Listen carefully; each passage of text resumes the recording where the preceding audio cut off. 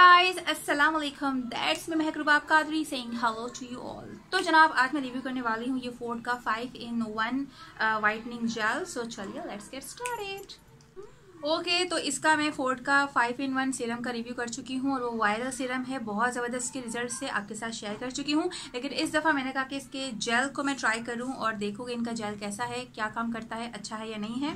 So I am shook with the result you can see मैं इसको सारा लगा चुकी हूँ और सारा लगाने के बाद आपको जो है रिव्यू दे रही हूँ। अभी मैं बिल्कुल विदाउट मेकअप हूँ मैंने सिर्फ़ सुरमा लगाया है लिपस्टिक लगाई है और थोड़ा सा इधर हाईलाइटर लगा लिया ताकि थोड़ा चेहरा चमकदार लगे।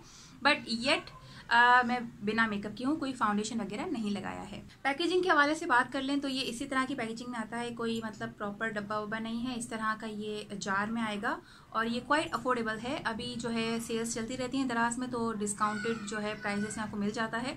और वैसे भी अगर डिस्काउंट ना हो तो ये बहुत ही ज़्यादा अफोर्डेबल है। अगर आपके स्किन पर जो है हाइपर पिगमेंटेशन है तो ये उसको कवर करेगा। अगर आपको डार्क सर्कल्स हैं पफी आईज हैं तो ये उसको कवर करेगा। अगर आपके जो है एक्नी स्कार्स हैं और आपको एक्नी का इशू है तो ये उसको भी ठीक करेगा। साथ में सबसे इंपॉर्टेंट बात कि अगर आपकी टेक्सचर्ड स्किन है, जैसे मेरी टेक्सचर्ड स्किन है, क्योंकि मेरा एक्नी का इशू रहा है एज यू ऑल नो अगर आप मुझे बहुत अरसे से फॉलो कर रहे हो तो मुझे जो है एक्नी होता रहा है और वो एक्नी जब हट जाता है तो आपकी टेक्सचर्ड स्किन हो जाती है, जो कि बहुत बुरी लगती है। तो मेरी टेक्सचर्ड स्किन को भी ये कवर करता है और आपकी टेक्सचर्ड स्किन को जो है ये स्मूथ और फर्म स्किन में तब्दील करेगा। आपने जो है इसको लगाना है फेस पर।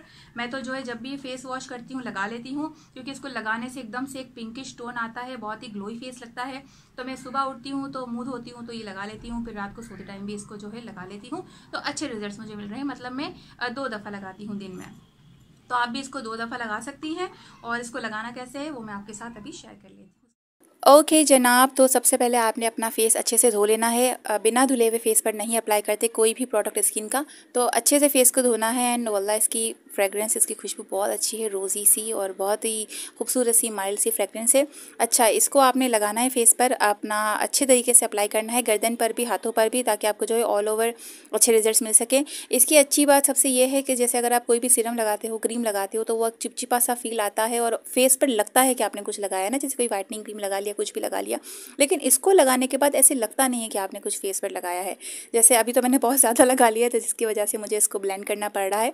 बट आप जो है अपने फेस के अकॉर्डिंग क्वान्टिटी लेकर लगाएँगी तो जैसे ही आप लगाएँगी और एकदम से ये स्किन पर एब्जॉर्ब हो जाएगा और एब्जॉर्ब होने के बाद आपको लगेगा ही नहीं कि आपने फेस पर कुछ लगाया है। मतलब बिल्कुल एकदम लाइट टेक्स्चर है और बिल्कुल ऐसे नहीं लगेगा। जैसे कभी कई क्रीम भी लगाते तो लगता है कि फेस पर कुछ रखा हुआ है। इसको लगाने से ऐसा नहीं लगता और ये बहुत अच्छे रिज़ल्ट मिलते हैं तो आप इसको दो टाइम अप्लाई करेंगे तो आपको ज़्यादा अच्छे रिज़ल्ट मिलेंगे इनका लिंक मैं जो है नीचे डिस्क्रिप्शन बॉक्स में डाल दूँगी तो आप काइंडली वहाँ से देख लीजिएगा। सो या दिस इज़ मैं कृपा कादरी सिंग और दुआओं में याद रखिएगा। Bye bye